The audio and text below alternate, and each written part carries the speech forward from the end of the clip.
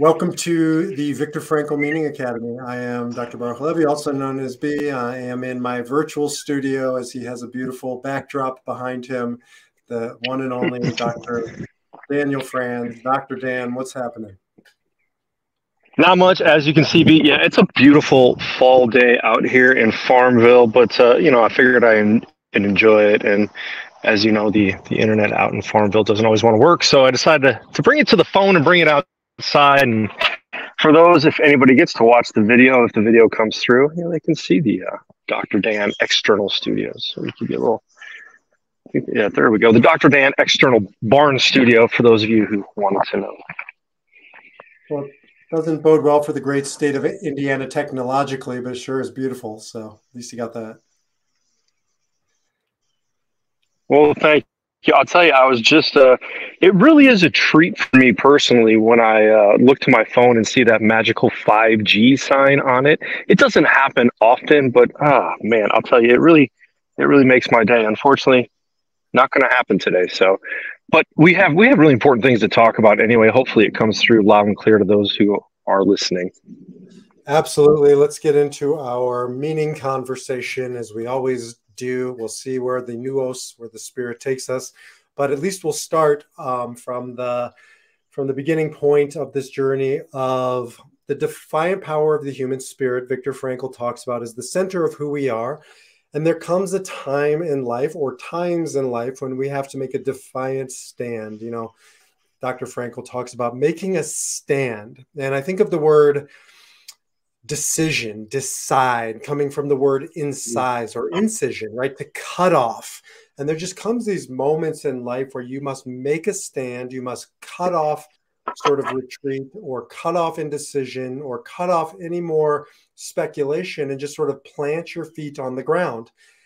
And that's true in all aspects of our life, but especially, I think, in this kind of second half of life, midlife and onwards, when you're running families, running businesses, running, you know, all kinds of organizations and people need us, people need you to really make a stand in life. What do what do we do with that, Dr. D? I think it's ironic that you know this phase in life, as you as you highlighted, it really does seem to be all about running, a lot of running, running here to there, running businesses, running families, managing stuff, and hopefully we are excuse me running to and not running from. And i think uh, dr Frankl talks about that. As we prepared for today i was really looking at something you had mentioned. Uh, i know a group you're working with is talking about the idea of how to move uh, men specifically from prince to king. And that comes right out of some jungian archetypes right? The king warrior and ma- magician and lover of the male archetype and and that's one we seem to be missing today. We are not taking a defiant stand and growing from prince to king, but too many of us seem stuck in our princely, childish ways and not moving forward. And, and, I think it is time to to call men, especially men of of business, men who have companies or are running companies or leaders in companies, by making this transition, by taking this defiant spirit, by transitioning from prince to king, you can have an impact on. I know we talked about it last week with Dr. Elise. You can have an impact on so many others, such a powerful and positive impact. Yeah, let's flesh out a little bit this prince versus king. You know, prince, at least developmentally, is I think of it as sort of a, well, you know, then another image, which also comes from Jungian teachers, is there's a page, a knight, a prince, and a king. You know, page is childhood. It's that pre-knight. Knight is like adolescence into your 20s. And then, you know, that settling in period where you're not settled, but you're settling in, you're, you're taking a spouse, you're raising, a, having a child, you're, you're building a profession. That's that princedom. And, you know, maybe we call it like mid 20s to a 40 ish period, 40, late 30s to early 50s. Excuse me. And then that's the end of the line, unless you make a choice, right? This king piece is a choice, where these others mm-hmm. almost aren't a choice. Maybe it's a choice from knight to prince. Excuse me. But it's not a. But it is absolutely a choice to go from prince to king. What are your What are your thoughts on that? Well, it's interesting. So uh, we've bridged Franklian psychology to Jungian psychology, and now we'll just go with straight up developmental psychology. In that, yeah, that's that phase of life where, where I, I, you, you, might be a little older than me, be not by much, but uh, you know, where we we start to look at how we're going to give back. We we transition from running, um, from creating our career, our job, and our family to transitioning to giving back within it. Um, society expects us to be solidifying our role in those things. And then what? And, and, and I think that then what is what you and I deal with a lot in people we work with. The then what, don't make a choice in the then what. You stay in that princely state. You stay a child. If you choose to develop into that kingly, majestic, giving back that kind of you know king is regal and authoritarian not necessarily authoritative and and works with people to give back and see them from their best. Beautiful picture that could be. But we need more guys doing it. Yeah that that shift is um, what Frankl calls self to self transcendent right? And there's this transcendent component and it still implies that you have a strong sense of self but there's something well you you said it, you're you're running towards. There's something bigger you're working to. Mm-hmm. You're no longer about you. You know, when, when I look, I've been a print. I was a prince for a long time, and as much as I'd like to say I was working for my family, there was a lot of me building my my profession, my my skill set, my mastery, my bank account. Yes, absolutely. So that it would positively impact the world around me. But I can't describe it. But there was an empirical shift when I hit this sort of next chapter, which is King, which is really it's not about me, and and I think that's tied to this. It's hard to get to a King place before a certain chronological time, like a lot of factors, but you, I don't think you can really hit it before your 40s. I agree, and I think it's interesting. I think not only is it chronological, but I think sometimes crisis or suffering oriented.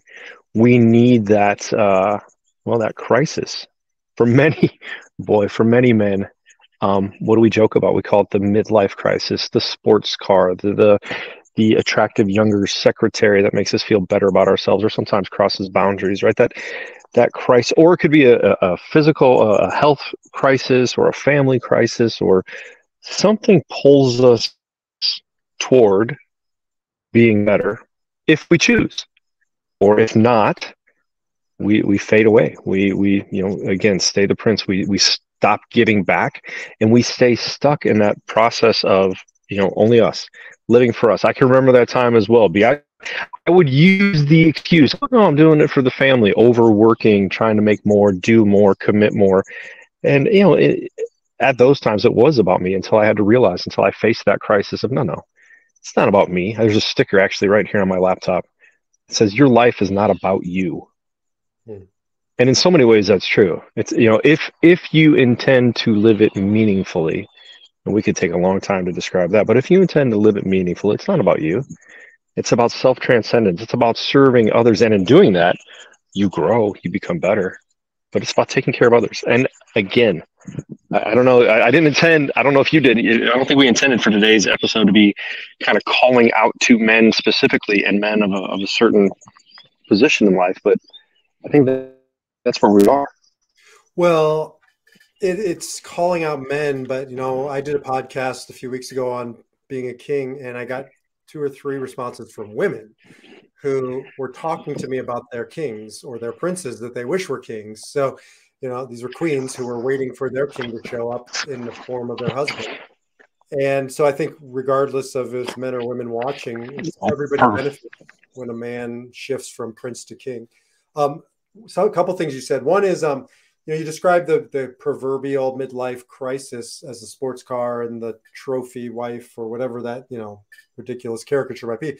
That's not the crisis. That's the reaction. The crisis is mm. feeling your mortality, right? Which is that's why it happens 40s, 50s, because I think for the first time a man can finally feel I think a person in general, when we're talking about men, can feel his clock ticking.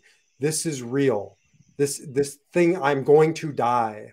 Like and did I get all my needs met? Have I fulfilled all of my desires and hopes and whatever? And so that's a very piss poor reaction. But I do think that that's where it's coming from. So the call of that is good. The reaction to it, not so good. Well, and, and I think the, the questions you just asked are the parts that are not so good. Did I get my meet needs met? Did I do what I wanted? I, I, I, I, I. We live in a world with too many eyes, too many thinking of people thinking about I and not taking care of we, not taking care of us. I think that's why we see, you know, so many broken homes and divorce rates and, and all that kind of stuff. But yes, it, when that crisis comes, now wait a second, B, this is groundbreaking. I don't think we've ever approached this before, but you mean we're gonna die? This isn't go on forever. Newsflash! I know. No matter how much tofu you eat, you'll yeah. Newsflash. Um, no matter exactly, and I think we face that. You know, many many people face that. Like you said, 40s and 50s, we lose our first parent, or we start to recognize maybe you know we're the last of a generation, and all those kinds of critical moments, those crises, that when we choose to to allow them to integrate them, to allow them to become part of our lives, we get better. When we avoid them, attempt to escape through sports cars or secretaries or substance use, well, we become diminished. So this 40s, you know, Jung said it was 40. I think that's a great like stake in the ground, but I don't obviously it's not a hard and fast rule for everybody, but there's a 40-ish thing that happens you have as as a person as a man in particular i think you have the first opportunity to realize you know what frankl said man is not free from his conditions. And i think we delude ourselves in that princedom in that knighthood certainly. Well i know i did. I how many times did i get in the car with a drunk driver? How many times did i you know i was a knight. I was invincible. How many times did i do stupid things that I probably shouldn't even be here because you know you're invincible. And then the prince, you're still maybe you're not you know doing such obviously stupid things, but you think you're gonna oh I'll have plenty of time for my kids later. That's why I'm gonna work so hard now, right? And then you mm-hmm. realize like you're not mm-hmm. free from your conditions, and that's a humbling experience. But he says, but but he is free to take a stand in regards to his conditions. So what what is Frankl doing for us here? Well, I think he's pointing out the idea of choice between stimulus and responses, our ability to choose. And, and there's a lot of stimuli during that time as we see our our children grow. And, and I'm, I'm, facing a lot of this right now uh, with, with, many families and, and professionally, personally, as well as my own. You know, the last child goes off to school and, and you face an empty house and you realize, um, did I do well? Did I do all right? Did, did I do good? Or did I really make a mess out of out of the 18 or or 20 years I had? And and some of the people I work with are shattered today as they look back, and others can look back with. I think the healthy way to look back as well. There are areas I could have done better, uh, but I did the best I could. Um, and, and, and in that realization is the opportunity to take that into the future and to continue to do the best you can or to continue to try to grow in what the best you can might be.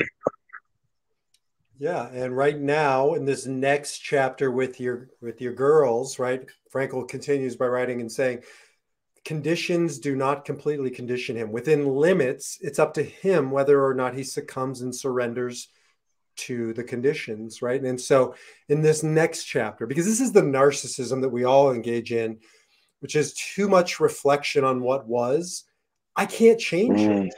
Right. And then I get mm-hmm. stuck in it and I feel bad. And actually, who am I serving by feeling bad? I'm actually hurting the people around me who are waiting me for to change or to to stand up to my conditions. And I can't completely change them, but I can um I, you know, he says he may rise above them, right?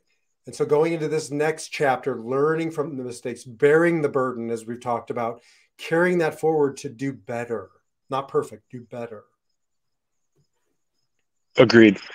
Um, the first, you know, since we, we, share this with our individual audiences as well as the Meaning Academy audience, my audience knows my affinity for the uh, diagnosis and, and, pop culture word narcissism. And uh, so I'm just going to say Yes, it doesn't quite fit the diagnostic criteria, B, but it is pretty damn self-serving. Um, it, it's uh, it, it's so sad to watch somebody reminisce, even in a positive way, reminisce in what was 10 or 20 or even 30 years ago, getting stuck in that past of it was so much better then. Well, you can't go back. And if everything was so much better then, then you know, as as you've said before, why are you living now?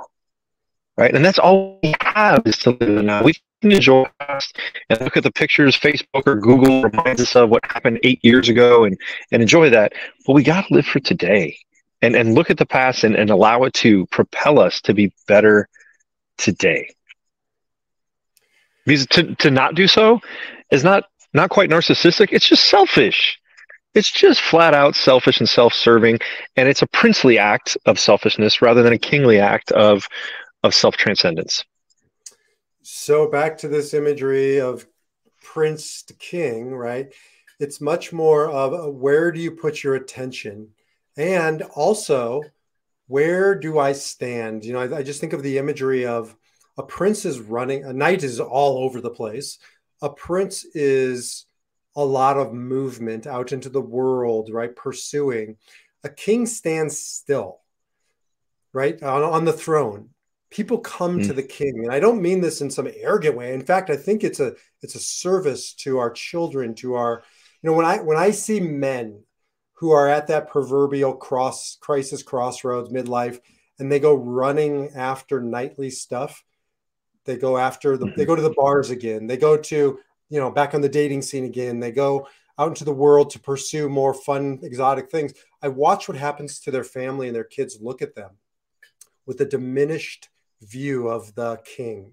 Could have been a king would have been a king. But kings honestly aren't that interested in pursuing their own desires at that point.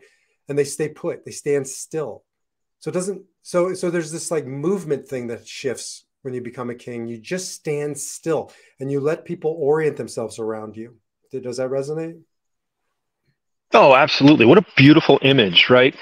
The king on his throne with people coming to him and asking him advice king you've lived such a, a, noble and, and sacrificial life what do I do here? How do I do this? You know, when your children come back to you and say, Hey, I, I got a question about this, or your friends, when you can have those interactions, or, you know, we're, we're fortunately blessed enough to, to do this every day. I don't know if it makes us kings, but, you know, we provide insight and wisdom when we can on a daily basis. And I think as specifically as men going from prince to king, we are all called to that to stop, to find out a way to stay still, to allow the stillness to remind us of our experiences. And hopefully, those experiences bring wisdom. And if not, we can start seeking wisdom even at an older age. But in the end, especially towards the end, and not to say 40 to 50 is the end, we can still have a robust, you know, few more decades but towards the end, it really is to be whole, to be wholesome, to live meaningfully, is to give back in experience, in wisdom, in, in service, in all of these ways. So I just ran a men's group, and there was some resistance to what I just said about sort of staking mm. your place in the ground, sitting on your throne, allowing people to orbit around you or orient themselves around you as an act of service. Because these some a couple of the guys said I'm not perfect. I'm not there. I don't have all the answers. And we ended up in a conversation where that's it's not that's not what a good king does. A good king sits still and en- engages the conversation and doesn't run. But it doesn't mean you're dispensing, you know, nuggets of wisdom all the time. No, the best kings can reflect the question back, and as you you as you and I know, in, in good psychology and especially good logotherapy, we believe we all have the answers within us, whether it's our friends, our children, our wives, people we consult with. We have the answer within us, in our nous, in our spirit, in our defiant human spirit. We have the answers.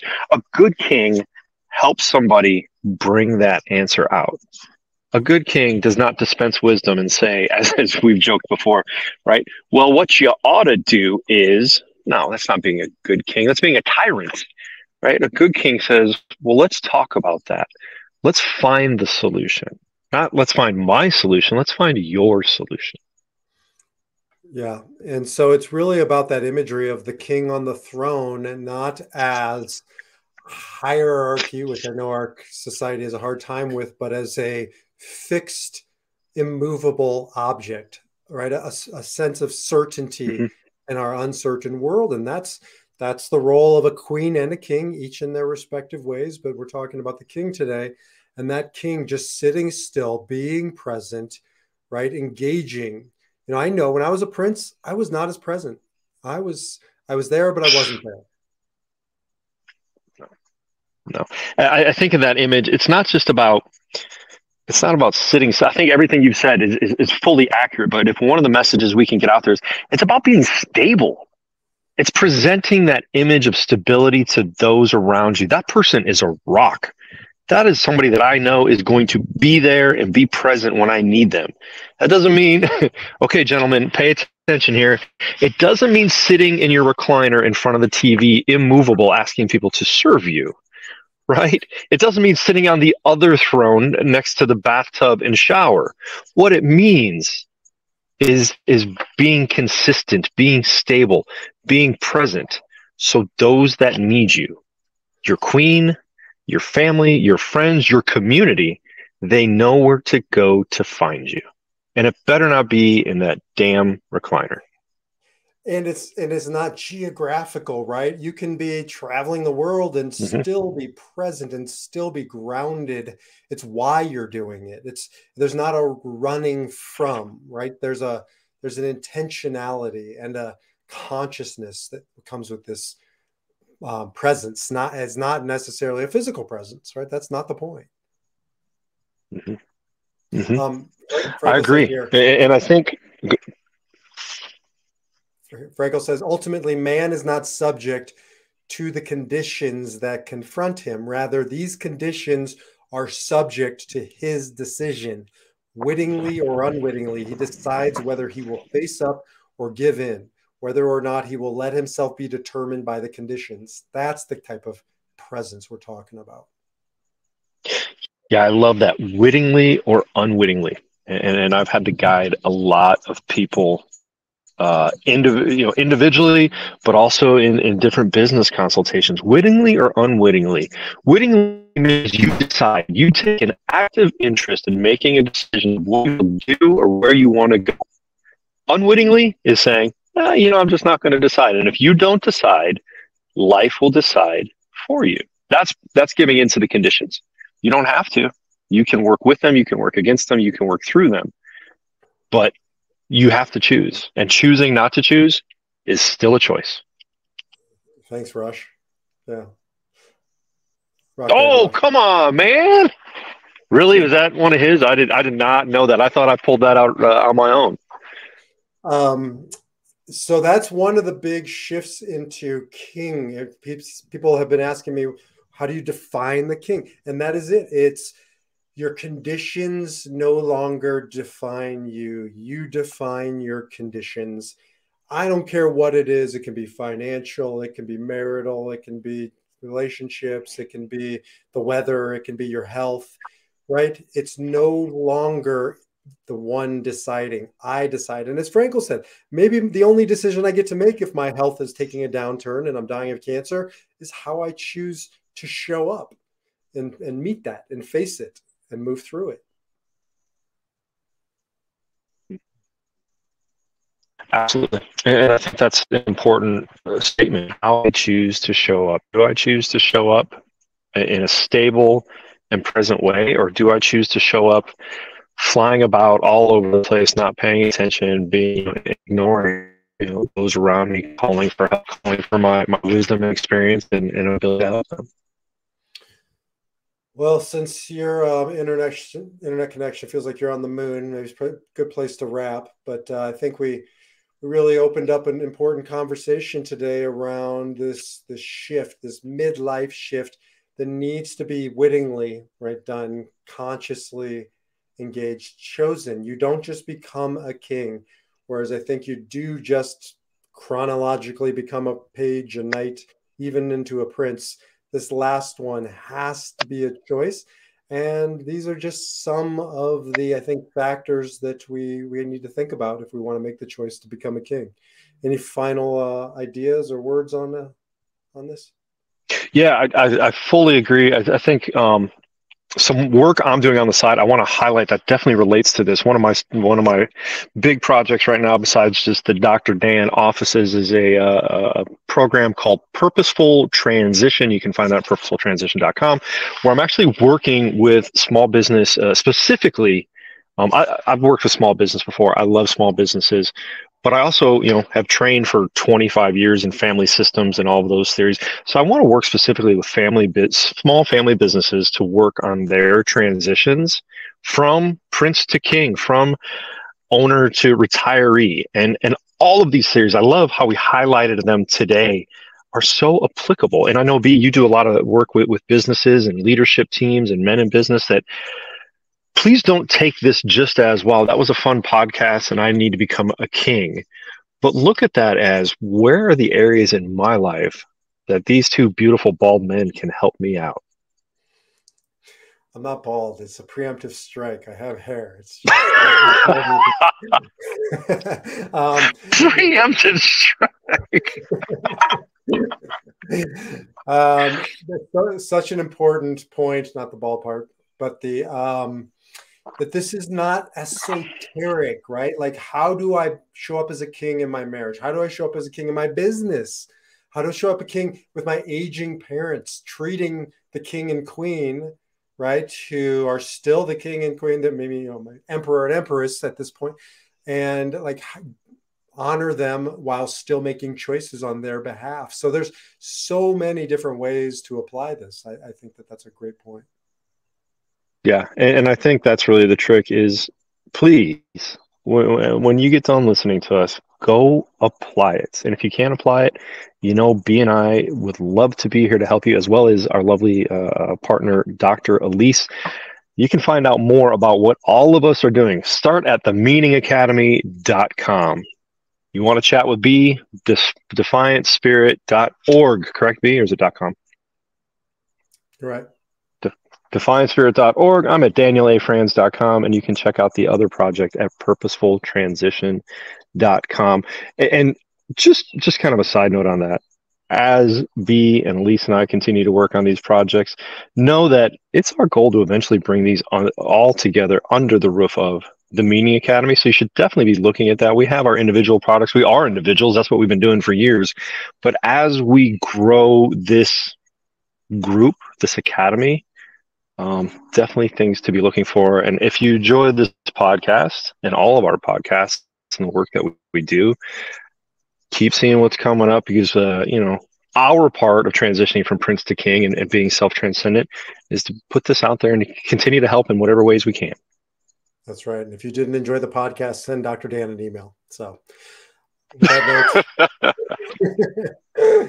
All right, brother. I hope your internet improves. It was great to connect with you, and it looks like a lovely day. So go enjoy it. Outstanding. In the meantime, live your life with meaning, purpose, and resilience. Take care, everybody. Take care.